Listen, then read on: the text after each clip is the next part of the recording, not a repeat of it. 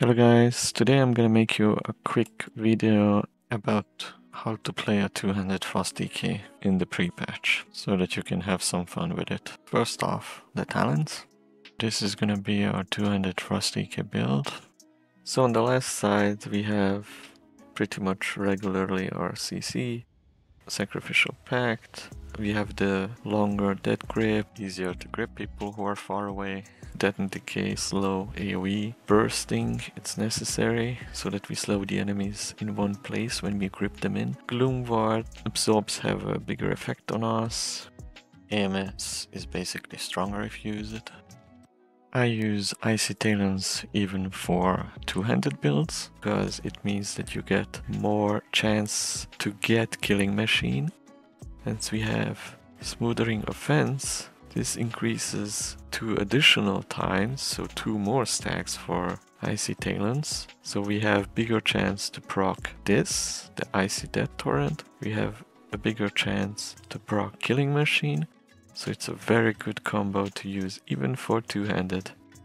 Now on the left side I see some people are going for Osmosis, but I personally I like Blood Draw because this is a very good defensive. You get 10% uh, damage reduction, you instantly heal a bit, and your death strike cost is reduced by 10 for 8 seconds. So if really necessary you can spam death strikes with 25 runic costs. And I think it's a better defensive than Osmosis. So it's your choice, both are viable. I stay with Blood Draw for now. Did I waste uh, one point on suppression just for AoE damage reduction 3% and an additional 6? I think this is a waste of talent point. So I rather go this way. Taking this as well to get 6% increased armor and 3% reduced chance to get critically hit. It's not terrible, but I rather take the leech. The leech will always heal you a tiny bit Abomination Limb can be used defensively to reduce damage they deal to you now. Now we have Null Magic, which reduces magic damage taken and magic effects that are cast on you. Vestigial Shell, I was actually using this for a while in Arena. Not using Gloom Ward, but this, you can do that as well. But if you use Spellwarden, Vestigial Shell is gonna become useless because it's still gonna cast only on one target. But if you use no Spellwarden, then it's properly gonna cast on yourself, the biggest shield, and on two nearby targets. Friendly, it can be even pets. Now on the right side, we got Chill Streak, Empower Rune Weapon, and the usual.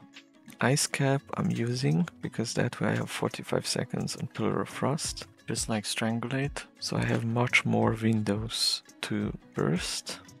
Enduring Strength, it's very good because it's gonna give you some burst even after your burst is done. You will have more strength, you will have more chance to still hit hard. Frostwhelp is a must, dealing some damage and increasing your mastery. I'm using Absolute Zero because you can use this both offensively and defensively. So if you grip everyone together, you can freeze them immediately and just try to burst. Or if somebody is really low HP and you want to freeze everyone to save his life. Now, on this side, we have Obliteration, so that you get Killing Machine and 100% Obliterate crit. Arctic Assault gives you Glacial Advance, so you get Razorice stacks. Same with Avalanche. It's a very good thing to apply Razorice. Shattering Blade with Shattered Frost to deal some AoE. It's not really necessary to play dual wield to stack up Razorice. Arctic Assault and when you're bursting with of Frost it's gonna stack up pretty fast. Additionally you get Howling Blast, the procs.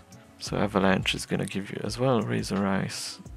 And yeah, that's it and some out attack icy death torrents are pretty good. Regarding PvP talents against casters, I'm also using Spellwarden against heavy CC comps as well.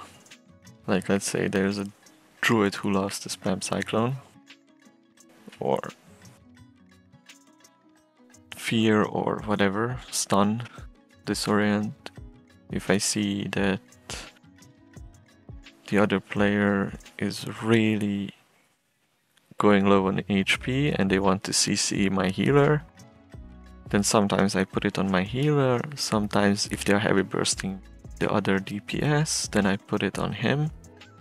So it's really good. PvP talent to assist people with anti-magic shell. Now the other things I'm using is Blood Force against heavy melee comps or too many pets and Delirium against mages, let's say. It's very good in some cases so that they cannot run away if you're like two melee people. Or I was using it exactly because I faced two melee like a DH and a warrior and I didn't want them to be able to charge too much and feral rush. But yeah, mostly I'm using Spellwarden though. Because that way I can, even if we are two melees, I can give this. Let's say it's a warrior, I give it to the warrior. So he's not getting CC'd and I use Death's Advance so I cannot get slowed. And I got Wraith Walk to get out of roots. Strangulate, I use it always, and Dead of Winter as well, because we need the stun. So each 30 seconds we can stun people. Regarding stats, we go Mastery versus Haste. Haste affects your global cooldown. I love to have global cooldown around 121 and 125. You can choose between that range which one you like. I like it if it's at least 123 or less. Of course, the more haste you go, probably you will have to sacrifice some mastery and versatility. Therefore, you will lose a bit of damage. Versatility, you can go up to 40% if you really wish, but focus mostly on mastery. I'm still using the 4 tier set bonus, Rune of the Fallen Crusader. And there's nothing else to talk about here. Now I'm gonna show you the rotation and give you some tips. So what I usually do when arena starts, let's say these are two DPS running at me. I chain them, I put down Death Decay, grip in the healer, I blind them, Remorseless Winter, Chill Streak, Burst, Howling Blast to dot everyone, and I get my first stack for Killing Machine. Silence Healer immediately stun is over. Now as you see I'm stacking up as fast as possible the Obliterate crits to get the Bonegrinder. 20% increased frost damage. Now if I see that they try to run away, I grip them back or I Frostwyrm to stun them again, even if it's just for a brief moment. Mostly I grip the healer back, or I attack the healer directly. In the whole game you're repeating this. Try to Death and Decay, grip in the healer, try to deal AoE damage, try to stun with the Remorseless Winter, CC the healer, or just go on the healer when you dead grip. So basically that's it. I'm gonna show you shortly just the macros I have and that's it for this video. I will leave after this message even some further explanation if you want to listen and watch. If not, then thanks for watching. I hope this was informative to you that you learned something. If not, you can leave a comment below. If I have to maybe explain a bit more detailed, the best is to watch my videos, how I play, and try to figure out in which situation what I'm doing. So that in the game macro, it puts down where your mouse is instantly. Lichborn macro to self-heal with Death Coil, and use uses Health Stone. AMS puts down where your cursor is, the anti-magic shell.